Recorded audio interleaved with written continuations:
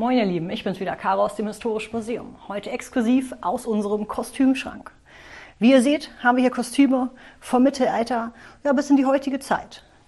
Das sind aber wirklich Kostüme. Das heißt, wir haben hier nicht den Anspruch gehabt, originalgetreue historische Kostüme schneidern zu lassen, die sehr, sehr aufwendig sind und sehr, sehr teuer, sondern wir hatten den Anspruch, dass wir die gemeinsam, wenn ihr bei uns zu Gast seid, anziehen können, gemeinsam toben, feiern oder auch kämpfen können.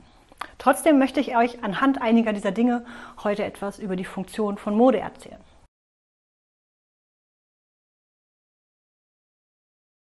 Grundsätzlich war Kleidung ja erstmal dazu da, um sich warm zu halten als Mensch. In den kalten Monaten mussten wir uns was überziehen, damit wir nicht frieren. Es ist aber tatsächlich ein gesamtgesellschaftliches Phänomen, dass man irgendwann anfing, sich über Kleidung voneinander abzugrenzen.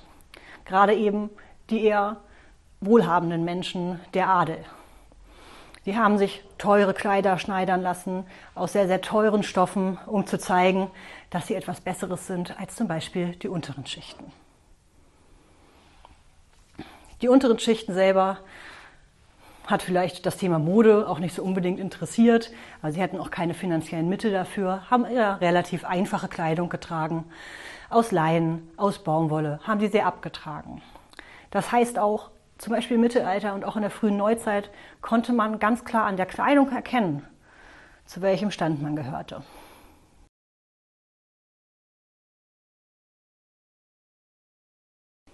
Zudem war Mode auch immer Mode der Herrschenden.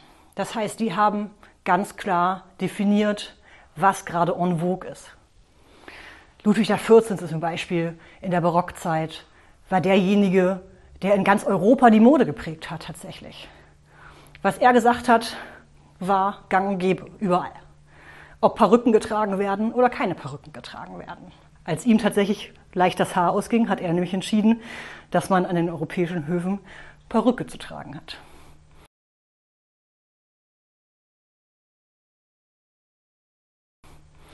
Das hat sich schnell verbreitet, indem man Modepüppchen hin und her geschickt hat, tatsächlich von den verschiedenen Höfen in Europa, um zu sehen, was gerade in ist und was man zu tragen hat.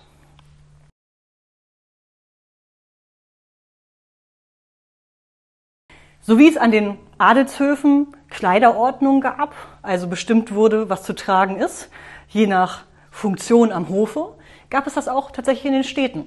Auch hier in Hannover gab es verschiedene Kleiderordnungen, die erlassen wurden vom Rat der Stadt, die bestimmt haben, welche Schicht der Stadtgesellschaft was tragen darf. Und das galt für alle sechs verschiedenen Schichten in der Stadtgesellschaft. Das heißt auch die Ehefrau des Bürgermeisters zum Beispiel hatte Regelungen. Die durfte vielleicht nur zwei Goldkettchen tragen und nicht drei. Das diente der sozialen Disziplinierung tatsächlich in den Städten. Und die Dame, auch als Frau des Bürgermeisters, hatte im Fall der Fälle Bruchstrafen zu zahlen, wenn sie gegen die Kleiderordnung verstoßen hat. Kann man sich heute gar nicht mehr vorstellen, oder? Dass man tatsächlich eine Geldstrafe dafür bezahlt hat, dass man die falsche Kleidung angehabt hat? Ich kann es mir wenig vorstellen. In diesem Sinne, bis zum nächsten Mal. Macht's gut.